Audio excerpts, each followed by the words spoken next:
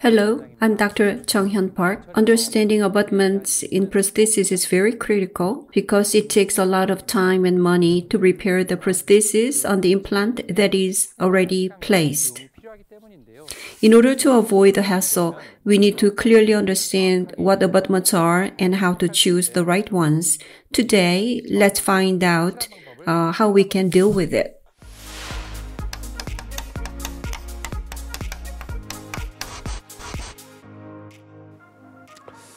In this lecture, I'm going to talk about what abutments are, what the Osstem's stock abutment, the transfer abutment is, and also what to consider in choosing the abutments.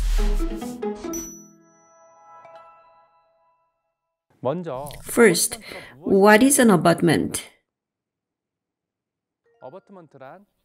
As you can see, the abutment is a transmucosal part that connects the fixture and the prosthesis. Here, they are indicated with the arrows. Now, can you understand what abutments are? Usually, they are connected to the fixture with a screw and connected to the crown via cementing. Let's have a look at the Osstem stock abutment, uh, the transfer abutment. Uh, transfer abutment is the most widely used one among the stock abutments. There are five main components in the stock abutment. First, let's have a look at the platforms. For fixtures with uh, diameter of 3.5 or less, a mini platform abutment can be used. Uh, that is, abutment platforms can be selected depending on the fixture diameter. Regular platform abutments are used for fixtures with a diameter of 4.0 or above. For mini platforms, long screws are used with up to 26 newton centimeter torque according to the manufacturer's instruction. In the meanwhile, for the regular platforms, up to 36 newton centimeter torque is used according to the manufacturer's instruction. This is a case uh, used in the anterior mandible. The transfer abutment is connected and modified with a burr uh, as if the abutment is prepared before the final prosthesis is completed. The regular platform is used for fixtures with a diameter of 4.0 or above. That is, the platform is compatible for all fixtures with a diameter ranging from 4.0 through 7.0. The final prosthesis is completed using the transfer abutment without modification. Next, we need to consider connections. Connections can be divided into the hex type and the non-hex type. As you can see, the hex type has the shape of a hexagon.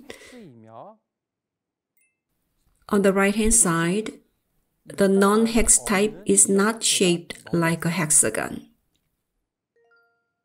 The biggest advantage of hex type is that it can be repositioned, and it is mainly used in the single tooth restoration. Now, can you see the hex type with the shape of a hexagon? On the other hand, the disadvantage of the non-hex is that it cannot be repositioned as there is no hex structure, but it has many advantages. The biggest problem in using the hex abutment is that the hex mismatch can occur, which is the incorrect connection. A clinician can easily make a mistake as the screw can still be tightened even with a mismatch. Now, here, can you see the hex mismatch? Can you tell the difference between the mesial and distal implants? If you see a connection gap on the X-ray, there is a lot of space below the screw. If you get skilled in reading the X-ray, you will detect uh, the hex mismatch easily. The right X-ray shows proper hex connection as the first abutment hex was not connected properly with another stock abutment hex is properly connected again. For non-hex, there's a positioning difficulties, but there is another advantage. Almost no chance of making the hex mismatch, which is the biggest advantage. There is less room for making a mistake, and it has higher contact area with the fixture, so the life is longer according to research results. Let's look at a clinical case. Over time, the contact is lost. Um, due to the type of the prosthetics, it was easily removed. Can you see the hex form indicated by the arrow? At a lab, the contact was modified and using the hex structure, the abutment was repositioned easily. If the abutment was non-hex type, repositioning would have been very difficult, but it was a hex abutment. The repositioning was made pretty easily, and the modification of contact was done, and after that, recementation was done. Proper contact with the adjacent tooth was recovered. For non-hex type, transfer jig is necessary to reproduce the locations. The red structure here is the jig. Let's look at a clinical case for a non-hex abutment to transfer the locations on the model to the mouth. The red structure, the transfer jig is necessary. Through the transfer jig, the locations on the mouth is transferred to the mouth. Final prosthetics is completed. I keep the transfer jigs in charts like this. Otherwise, uh, they will be accumulated and it will be hard to find for a specific individual. So I prefer to attach them to the chart like this. It is retained like this because later, if necessary, the transfer jig will be used to reposition the abutment.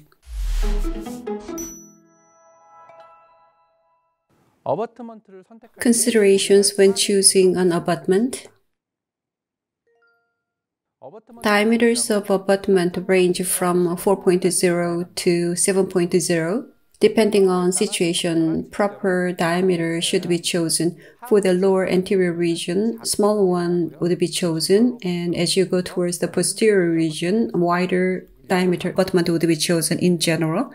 As you can see in this case, in the case of premolars, I usually use 4.5 to 5.0 millimeters. For molars, I usually use 6.0 to 7.0 millimeters.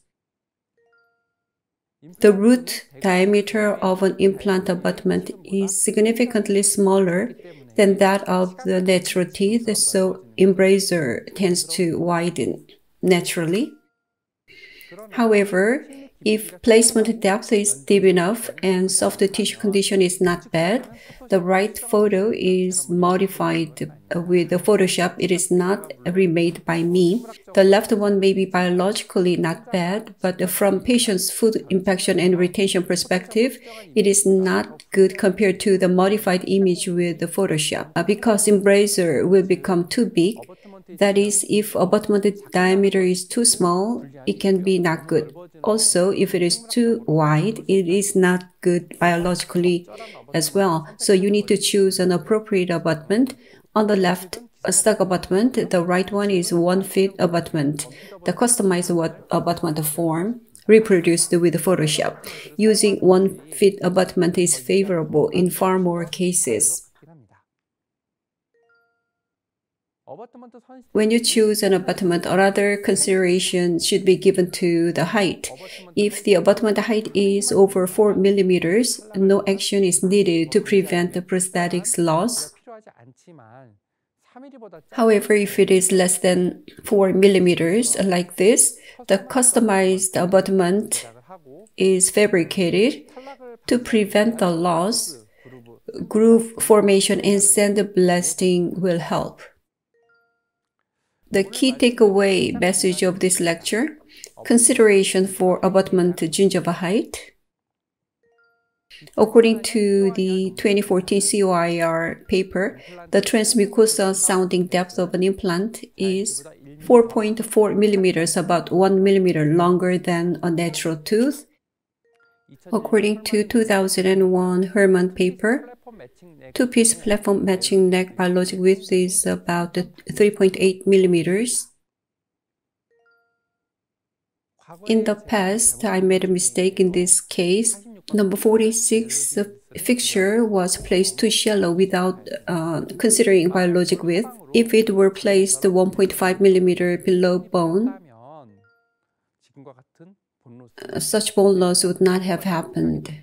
To treat the periimplantitis, it is cleaned with a brush.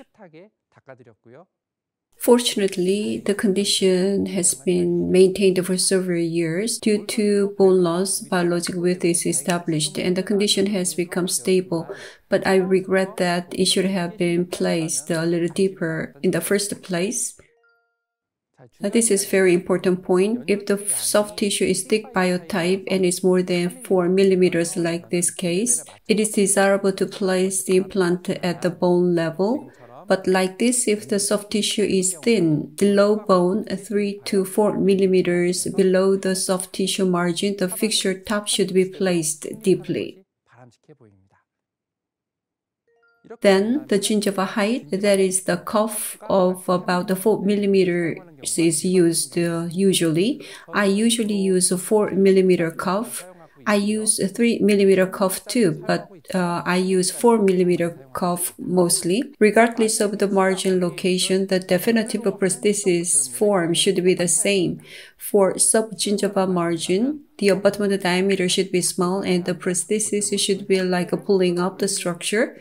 For equal margin, abutment size should be a little bit bigger. For supra-gingival margin, if you design it that way, as you reproduce the crown shape, the abutment diameter should get bigger and the shape of the crown should match that. Once again, the position of margin and the appearance of the definitive prosthesis are irrelevant. It means the shape of an abutment should vary depending on margin position.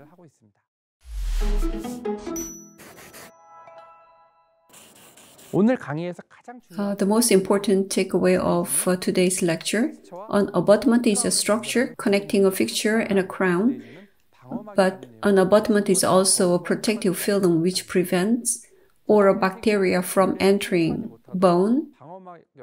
So the gingiva height of 3 millimeters or above needs to be used. I prefer to use 4 millimeters. To do so, sufficient placement depth should be secured according to soft tissue. Also, avoiding too much tapering is very important.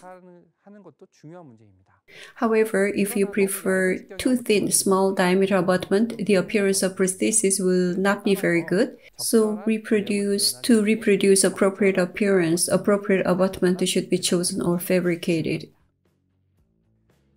A tooth shows various characteristics depending on its shape, its relation with the surrounding teeth, and dentition. After an implant is placed, an abutment is used to support the prosthesis. It would be actually impossible for such abutment to completely satisfy all the characteristics of each tooth. However, based on this lecture, what about choosing a right abutment according to a tooth? Enhancing patient satisfaction is upon you. And thank you very much for your listening.